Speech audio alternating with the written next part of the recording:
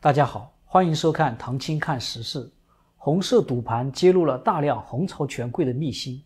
段伟宏夫妇结交的权贵有孙政才、令计划、李伯潭。孙政才、令计划贵为副国级领导人，仍然难逃锒铛入狱的命运，因为他们不属于红色家族，也不是江泽民派系的铁杆亲信。李伯潭因为有岳父贾庆林罩着，而贾庆林是江泽民的铁杆，所以越腐败越升官。作者沈栋发现，整个中国是为极少数中共红色权贵家族服务的。今天跟大家讲李伯潭如何运作神秘的茅台会，如何借岳父的影响力赚钱，以及江泽民的特权在其中发挥的作用。江泽民孙子也可能是茅台会会员。书中说，二零一四年一月，中共下令关闭北京的高端夜总会，但李伯潭的茅台会并没有关门大吉。因为他岳父是贾庆林，是江泽民的铁杆盟友，中共的反腐运动并不愿意触及红色贵族，尤其是那些跟上海帮头目江泽民有关的人。李伯潭的英文名叫 David，书里面经常叫他大卫。英国商人沈栋出版的这本书披露了他和夫人段伟宏结交权贵的很多秘闻。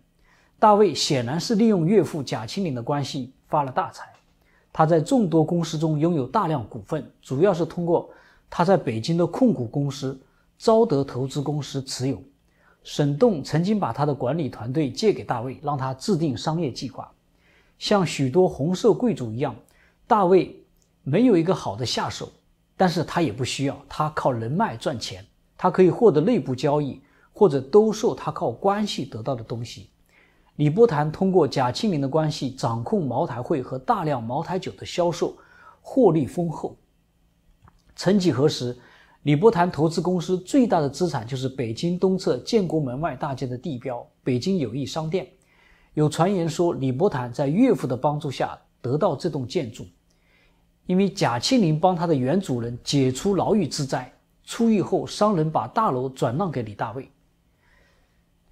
这个公司还获得了在北京无处不在的公交车站销售广告的独家合同，因为那等于是印钞的许可证，就是肯定赚大钱。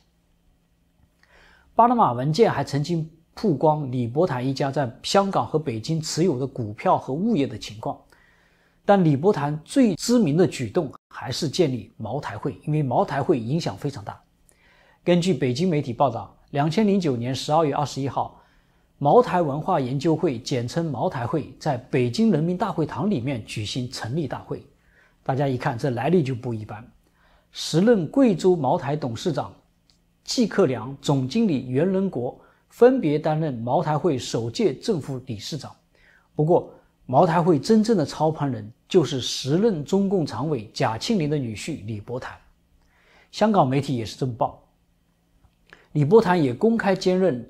副理事长兼秘书长，沈栋的书里披露李伯潭开设茅台会的原因，说当时好像每个有钱人都想拥有一个私人会所。第一，在私人场所，你可以达成政治和经济的交易，没有人知道你在会见谁，也不知道你们谈什么。第二，共产党的权贵们不敢公开炫富，但是他们喜欢关起门来，在信任的朋友面前炫耀。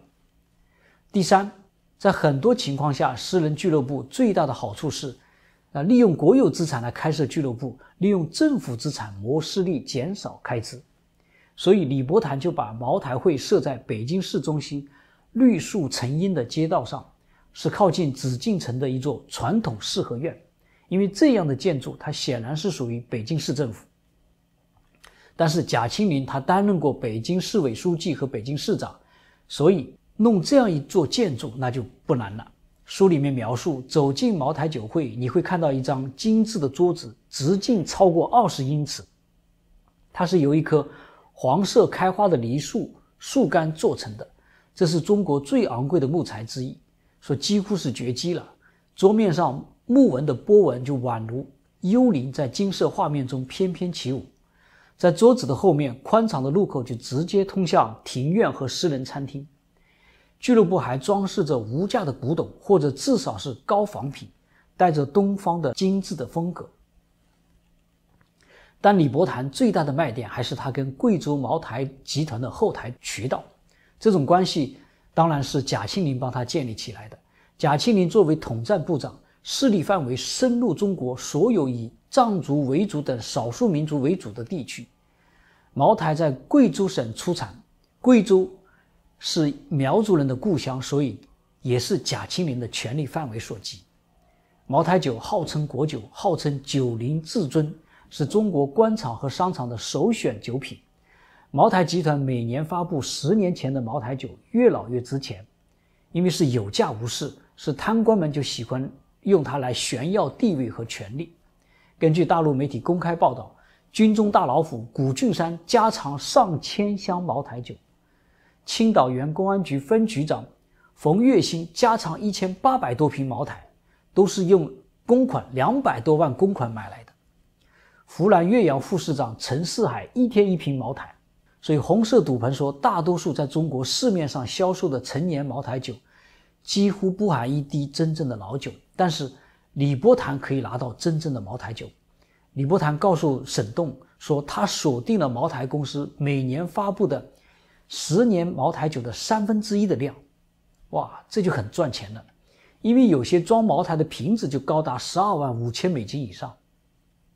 所以，李伯潭他用他的红瓶子。卖他的十年茅台酒，在圈内称之为“红毛”。沈栋说，他们圈子里的人从来不在正规商店买茅台，因为中国假冒伪劣太多，尤其是茅台酒。普通的中国人甚至到海外买茅台酒，因为他们寄希望于外国商店有真品。要获得大卫珍贵的红毛就更难得，就必须加入他的茅台会，会员费就是几万美元。但是只靠金钱并不能保证进入茅台会，因为大卫要对你进行审查，你必须是重要人物，是吧？你不是重要人物，有钱也不行。所以茅台会的会员资格当时很快就成为北京最抢手的会员之一。中国的一些顶级大亨也加入其中，有当时的凤凰卫视董事长刘长乐，还有中国最大的国有企业中信集团董事长孔丹，当然还有科技巨头阿里巴巴创办人马云。马云不仅是茅台会的名誉会长，同时也是茅台会首届理事会副理事长。根据茅台会官网的信息，马云在杭州开设的顶级会所江南会，其实还只是茅台会五大分会之一的杭州分会。所以，茅台会除了南池子北京总会外，还有上海的茅台浦江会、杭州的茅台江南会、广州的茅台岭南会和大连的茅台三江会。当然，茅台会官网现在都删除了这些信息。江南会大家都知道是马云等八大富豪投资建造的一所会所，而北京的茅台总会估计就是李伯潭利用岳父的关系，啊，占用公家建筑搞来的。因为那个是接近紫禁城的四合院，有钱买不到。不光是马云等富豪，江泽民孙子看起来也是茅台会的成员。有一次，沈栋就走进茅台会。他遇到了一个男孩，是个新面孔，啊，那个男孩自称是 Ivan，他后来才知道他是江泽民的孙子江志成，因为他的英文名就叫 Ivan，他也是在美国读过书嘛，听说是有绿卡。江志成后来二十多岁就创立了一家价值十亿美元的私募股权公司。华尔街日报今年二月份报道，茅台会是近年来中共太子党经常聚会的地方，但是习近平不喜欢这些会所，大家知道。另计划有西山会，车峰有盘古会，中共就怕私下拉帮结伙，跟党不是一条心，所以茅台会背后的政商权贵近年来下场都不妙。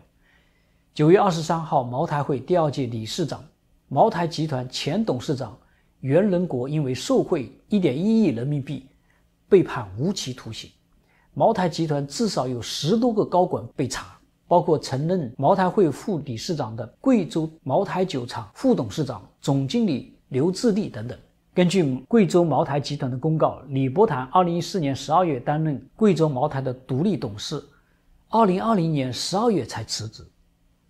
所以，李伯潭和袁仁国共同开创茅台会，两人还合著了《红色茅台》这本书，啊，大力推广茅台。袁仁国几天前被判无期徒刑，但是。李伯潭一点事都没有。二零一五年，茅台会副理事长、央行前行长戴香龙女婿车峰被中纪委带走，至今杳无音信。啊，二零一四年中共高调打击豪华会所，马云的江南会主动关停，但是李伯潭北京的茅台会只是摘牌，实际上仍在暗中运作，所以他开在习近平眼皮底下。茅台会能够做到这一步，可想而知，李伯潭、贾庆林的能量有多大。他也凸显了江泽民派系在中国不受约束，这也是沈栋夫妇为什么要结交李伯潭的原因。因为贾庆林的腐败在北京是公开的秘密，但是一点都不影响他升官发财，退休后还可以保子女发财。啊，海外媒体拼命曝光他们的财产，他也能够安全无恙。所以，按照民间的说法，贾庆林一家是不是有免死金牌？因为两千年厦门远华案牵扯大批中共高官，深度涉案的贾庆林在江泽民的保护下，不但过关，还提拔到了北京。最后升任政治局常委和政协主席。贾庆林妻子林佑芳当时也卷入走私案，啊，因为当时朱镕基哈立下誓言，走私案要一查到底，所以有人告诉沈栋说，一九九九年丑闻爆发后，林佑芳害怕她丈夫被调查，精神崩溃，好好像都到不能说话了，在北京住院多年。尽管如此，林和贾并没有被起诉。所以书里面说，这证明在中国你做了什么不要紧，你认识谁才重要。六十年代，江泽民在机械工业部就认识了贾庆林，有江泽民的保护，贾庆林家不但一点事都没有，还可以照样升官发财。段永红就看中这一点，所以他认为李伯潭能量大，值得去结交。所以在江泽民的庇护下，贾庆林一家如此，江泽民的子孙贪腐就更不用说了。书里面说江。会直接派人帮他的儿孙打通关系，为他们的生意铺路。所以在书中，作者深刻反思了一个问题：说中国现在究竟是谁的中国？他认为，中国现在是被这些红色家族操控，整个国家是为他们服务的。好，今天的节目就到这里，我还有会员频道，欢迎大家去订阅收看，谢谢大家。